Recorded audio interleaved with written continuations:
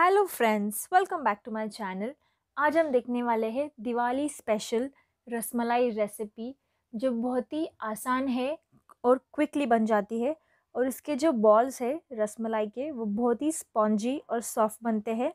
तो चलिए वीडियो को शुरू करते हैं। तो सबसे पहले मैंने यहाँ पे आधा लीटर गाय का दूध लिया है। आप चाहे तो भैंस का दूध भी इस्तेमाल कर सकते हैं। अब हम इस दूध में खाने वाला पाउडर येलो कलर डालेंगे। आप चाहे तो लिक्विड कलर भी इस्तेमाल कर सकते हैं। तो आपकी चॉइस के अनुसार आप कलर कम ज़्यादा कर सकते हैं। कलर डालने के बाद हम दूध को अच्छे से मिक्स कर लेंगे और इसे उबाल लेंगे। दूध को उबालना बहुत ज़रूरी है। इसमें अच्छे से उबाल आना चाहिए। तभी आपका जो दूध है वो अच्छे से फटता है। तो हम इसे उबलने तक रखेंगे। दूध अच्छे से उबल चुका है तो ये स्टेज पे हम इसे फाड़ लेंगे। तो इसके लिए मैंने यहाँ पे विनेगर का इस्तेमाल किया है। आप चाहे तो नींबू के जूस का भी इस्तेमाल कर सकते हैं। मैंने यहाँ पे एक टीस्पून विनेगर डाला है और इसे मिक्स किया है। हम थोड़ा थोड़ा करके डालेंगे। अब मुझे और थोड़ा विनेगर लगेगा तो मैं और एक टीस्पून डालूँगी। तो आपको जैसे ज़रूरत पड़े, वैसे आप इसे ऐड करते जाए। तो आप देख सकते हैं कि ये पनीर और दूध सेपरेट हो चुका है तो दूध अच्छे से फट चुका है। तो ये अभी जो स्टेज है, वो इम्पोर्टेंट स्टेज है। तो यहाँ पे हमें गैस को बंद नहीं करना है। यहाँ पे हम इसे और दस मिनट के लिए पका लेंगे, ताकि ये पनीर है, वो हार्ड बन जाए। तो ये बहुत ही इम्पोर्टेंट स्टेप है, इसको स्किप नहीं करना है। इसे दस मिनट के लिए पका लेना है, तब तक, जब तक ये थोड़ा सा हार्ड ना हो जाए। तो दस मिनट के बाद हमें गैस को ऑफ़ करना है। अब हम इसे छान लेंगे। तो इसके लिए मैंने यहाँ पे इस्तेमाल किया है चाय छन्ने वाला, जो छन्नी आता है, वो। तो जिससे हम चाय छानते हैं, वो छन्नी मैंने यहाँ पे लिया है। ये बहुत ही आसान है, ज़्यादा चीज़ों की ज़रूरत नहीं पड़ती हमें। तो यहाँ पे हमें नॉर्मली इसको छान लेना है। तो मैं ये पानी इस्तेमाल नहीं करने वाली हूँ, इसलिए मैंने छोटी कटोरी ली है। अगर आपको ये पानी चाहिए दूध आटा गूँधने के लिए तो आप ये पानी बड़े बर्तन में छान कर ले सकते हैं। तो छानने के बाद हम जो पनीर है वो छन्नी में निकाल लेंगे। तो ये सारा पनीर छन्नी में निकाल लेना है। अब हम इसे ठंडे पानी से धो लेंगे। तो यहाँ पे मैं थोड़ा थोड़ा करके ठंडा पानी डाल रही हूँ ताकि जो विनेगर का स्मेल है वो निकल जाए। हमें ये स्टेज पे इसे बिल्कुल भी प्रेस नहीं करना है। इसका पानी बिल्कुल भी प्रेस करके निकालना नहीं है। इसे सिर्फ़ जो स्मेल है विनेगर का, उसे निकालने के लिए इस्तेमाल करना है और इसे ऐसे ही रख देना है। अगर आप ये स्टेज पे इसे प्रेस करके निकालते हो तो जो पनीर है वो और सॉफ्ट बन जाता है और आपके जो बॉल्स बनते हैं रसमलाई के, वो टूट सकते हैं। तो ये स्टेज पे इसे बिल्कुल भी प्रेस नहीं करना है। सिर्फ़ पानी निकाल लेना है विनेगर का और इसे ऐसे ही पंद्रह से बीस मिनट के लिए छोड़ देना है ताकि इसका जो पानी है वो नेचुरली निकल के आ जाए। हम इसे ऐसे ही रख देंगे। आप ये प्रोसेस करने के लिए छन्नी और जो कॉटन का कपड़ा आता है, वो भी इस्तेमाल कर सकते हैं, कोई प्रॉब्लम नहीं है। पर इसमें क्या होता है कि ये जो कपड़ा है, इसमें जो पनीर है वो चिपक जाता है। तो थोड़ा बहुत पनीर तो उसमें ही रह जाता है तो वो थोड़ा सा मुझे वेस्टेज लगता है तो इसलिए मैं इस्तेमाल नहीं कर, करती हूँ। पर अगर आप इससे कंफर्टेबल हो तो आप ये भी इस्तेमाल कर सकते और अगर आपके पास ज़्यादा क्वांटिटी में दूध है, पनीर है तो आप बड़ा छन्नी भी इस्तेमाल कर सकते हो। तो आप देख सकते हैं कि 20 मिनट के बाद इसका जो पानी है, वो निकल चुका है। अब हम इसे प्रेस करके निकाल सकते हैं, क्योंकि ये पनीर है, वो ठंडा हो चुका है और हार्ड भी हो चुका है। तो इसे हम आराम आराम से जो पानी है, वो निकाल लेंगे।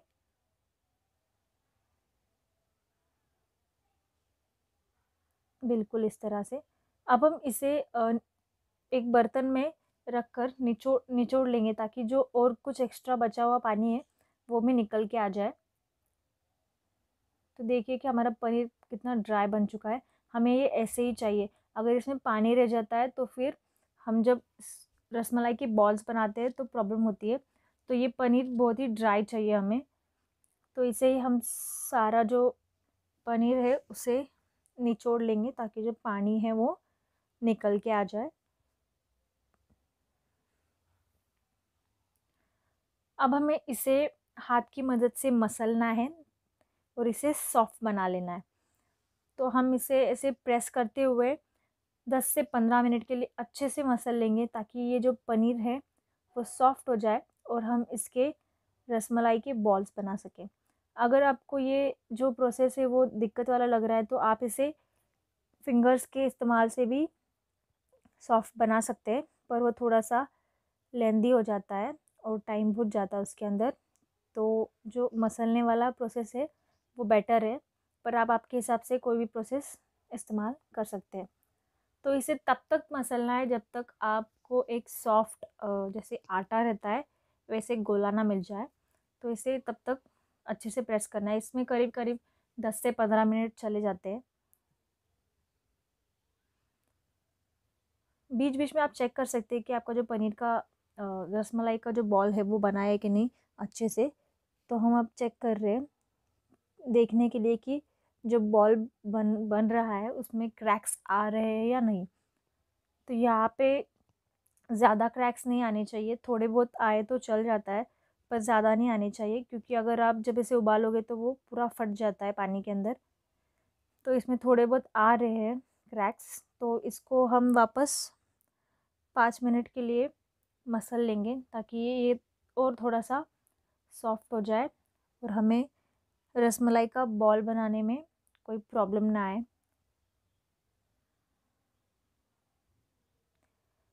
तो इसे सेम प्रोसेस से पाँच मिनट के लिए और मसलना है। ये प्रोसेस बहुत इंपॉर्टेंट है।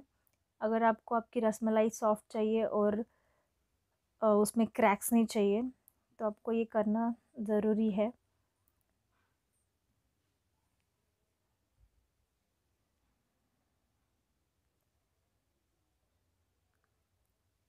और जो हमने कलर डाला था दूध में, दूध फाड़ते वक्त वो भी कंपलसरी नहीं है। अगर आपको, आपकी रसमलाई का कलर येलो चाहिए तो आप डाल सकते हैं। अदरवाइज़ आप स्किप भी कर सकते हैं। तो ये सॉफ्ट बन चुका है। तो मैं इसे छोटे छोटे पार्ट्स में डिवाइड कर लूँगी और इसके जो बॉल्स है रसमलाई के, वो बना लूँगी। तो इसे नॉर्मली अपने हाथ पे लेना है और दोनों हाथों के बीच में ऐसे घुमाना है ताकि इसका जो बॉल है वो अच्छे से बन जाए। बिल्कुल इस तरह से। आप रसमलाई का साइज़ और शेप आपके हिसाब से रख सकते हैं। मुझे ये छोटा मीडियम चाहिए था और गोल चाहिए था तो मैं ऐसे बना रही हूँ। आपको अगर इसे फ्लैट बनाना है तो ऐसे गोल करते करते आपको इसे प्रेस कर देना है तो आपका फ्लैट रसमलाई भी बन जाएगा। हमने यहाँ पे बिल्कुल भी कॉर्नफ्लावर वगैरह कुछ यूज़ नहीं किया है। हमने सिर्फ़ दूध से रसमलाई बनाई है।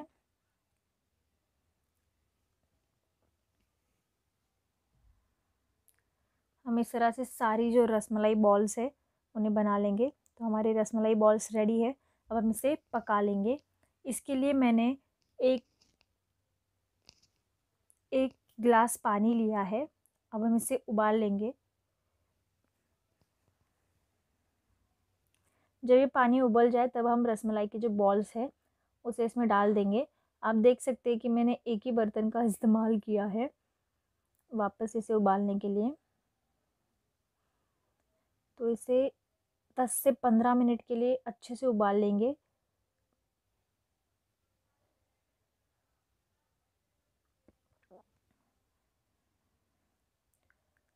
आप देख सकते हैं कि पंद्रह मिनट के बाद जो रसमलाई के बॉल्स है, उनका साइज़ डबल हो चुका है। तो ये स्टेज पे हम गैस को बंद कर लेंगे और इन रसमलाई बॉल्स को एक बर्तन में निकाल लेंगे। तो मैंने यहाँ पे जिसमें मैं रसमलाई स्टोर करने वाली हूँ, वही डब्बे का इस्तेमाल किया है। इससे बर्तन भी कम निकलते हैं। और मैंने जो पतीला यूज़ किया है, उसमें मैंने दूध भी फाड़ा था। अब उसी में मैंने रसमलाई को उबाला भी है और अब मैं उसी में दूध भी बना लूँगी। तो मैंने एक ही बर्तन का इस्तेमाल किया है। अगर आपको चाहिए तो अलग अलग बर्तन भी इस्तेमाल कर सकते हैं। तो इस तरह से हम सारी जो रसमलाई है, के बॉल्स है उनको निकाल लेंगे। अब देख सकते हैं कि कितने सॉफ्ट बने हैं।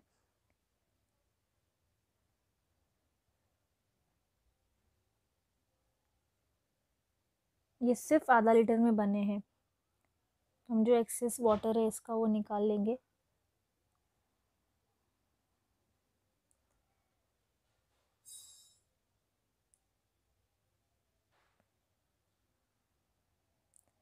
तो इस तरह से हमारे रसमलाई की बॉल्स पककर रेडी है। ये गर्म है तो ये थोड़ा सा चेक करने में प्रॉब्लम जाएगा कि ये स्पॉन्जी बने या नहीं बने। फिर हम इसे बाद में एंड में चेक कर लेंगे कि ये कितने स्पॉन्जी बने हैं। अब हम इसका जो रबड़ी है वो बना लेंगे। इसके लिए मैंने यहाँ पे आधा ग्लास दूध लिया है। इसको हम गरम कर लेंगे।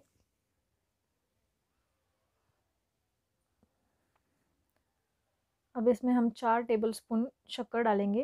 अब ज़्यादा कर सकते हैं, पर ये क्वांटिटी में बन जाता है। यहाँ पे मैंने छः इलायची की पाउडर ली है। अब मैं इसमें ड्राई फ्रूट्स डालूँगी। मैंने यहाँ पे पिस्ता, बादाम और सूखे गुलाब के पत्ते लिए हैं। आप आपके इच्छा के अकॉर्डिंग कोई भी ले सकते हैं या फिर स्किप भी कर सकते हैं। अब मैं यहाँ पे वापस येलो फ़ूड कलर डाल रही हूँ। ये पाउडर कलर है, आप चाहे तो लिक्विड कलर भी डाल सकते हैं। इसे मैं पाँच से दस मिनट के लिए पका लूँगी। आप आपकी इच्छा अनुसार इसे गाढ़ा कर सकते हैं। मुझे ये ज़्यादा गाढ़ा नहीं चाहिए, इसलिए मैंने दस मिनट तक पकाया है। अब हम जो रसमलाई के बॉल्स थे उस पर इसे डाल लेंगे और हमारी रसमलाई रेडी है। आप इसे फ्रिज में स्टोर कर सकते हैं। जब आप इसे फ्रिज में स्टोर करोगे तो ये दूध थोड़ा सा और गाढ़ा बन जाता है। तो ज़रूरी नहीं कि ये ज़्यादा गाढ़ा पकाया जाए। पर अगर आपको ज़्यादा गाढ़ा चाहिए तो आप ज़्यादा गाढ़ा भी कर सकते हैं। आप देख सकते हैं कि इसका कंसिस्टेंसी कैसा है दूध का। ये इतना भी पतला नहीं है और इतना भी गाढ़ा नहीं है, ये मीडियम है। और आप जैसे रसमलाई को स्टोर करते हो तीन से चार घंटे के लिए फ्रिज में तो ये गाढ़ा बन जाता है ऑटोमेटिकली अब मैं इसमें कुछ ड्राई फ्रूट्स डालूँगी और रोज़ पेटल्स डालूँगी इसे सजाने के लिए। ये बिल्कुल ऑप्शनल है, आप इसे स्किप भी कर सकते हैं। तो इस तरह से हमारे आसान स्पॉन्जी रसमलाई रेडी है। हम चेक करेंगे कि ये कितने स्पॉन्जी बने हैं। तो मैं इसे प्रेस करके देखूँगी कि ये कितना स्पॉन्जी बना है। देखिए, ये वापस इसका शेप होल्ड कर रहा है। ये फ्लैट नहीं रह रहा है, ये वापस उसके शेप में आ रहा है। तो ये बहुत ही स्पॉन्जी बना है। आप आपके घर पे भी ट्राई कर सकते हैं। तो इस वीडियो के लिए इतना ही। आई होप आपको ये वीडियो अच्छा लगा हो। हम फिर मिलेंगे एक नई वीडियो के साथ। तब तक के लिए bye bye take care and happy Diwali